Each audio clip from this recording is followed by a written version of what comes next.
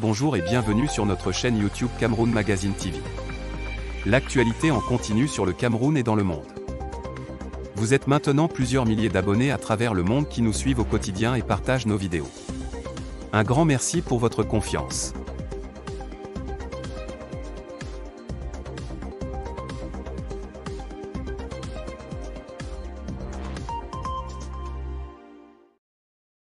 Abonnez-vous et cliquez aussi sur la petite cloche de notification pour ne rien rater de nos prochaines vidéos.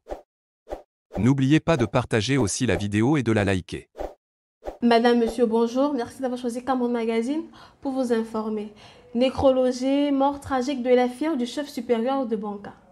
La fête de la jeunesse a eu un goût amer à Banca alors qu'il était à la tribune de la place des fêtes de Banca, aux côtés du sous-préfet Zoua Pascal et du maire, le chef supérieur Banca a perdu sa fille dans un incroyable accident. Les faits se sont produits au lieu dit entrée au chaos où il y avait la déviation.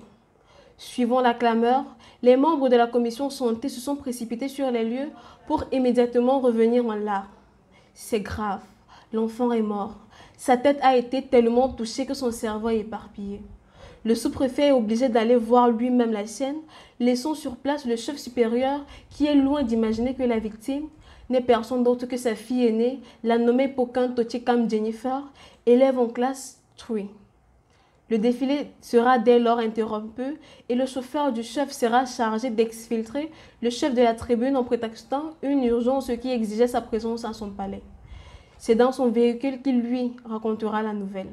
Alerté à leur tour, le préfet, le commandant de compagnie, le premier adjoint préfectoral et le commandant de la brigade de terre de Banca sont descendus faire le constat en présence des médecins légistes. Rappelons que les accidents de la circulation sont de plus en plus récurrents au Cameroun.